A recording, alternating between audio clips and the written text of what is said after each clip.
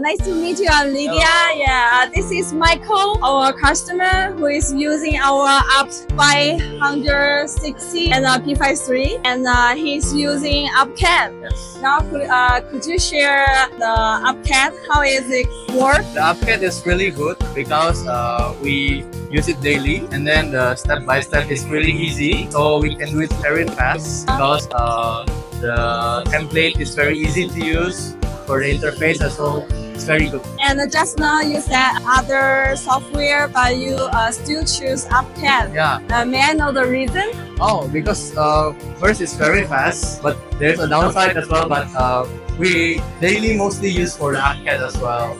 But for uh, some cases, like implants, uh, we, Uh-huh. we, we use other software. Okay, okay, but, great. Uh, for like uh, single crown, like bridge, is very easy and very fast. Oh. So I think it's better to use the UPCAD.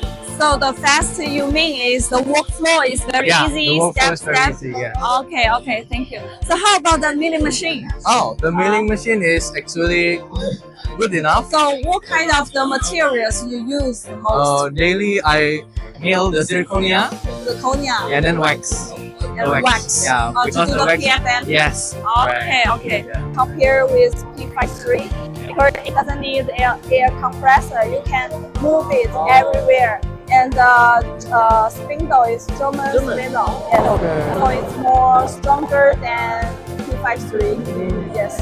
And it also can uh, contact with the AI prompt. Oh. When you finish one prompt, you also can send data directly.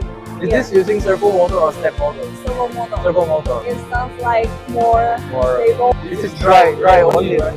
Yes, dry only. Dry. But this is for wet. For wet. Ah, Glass ceramic.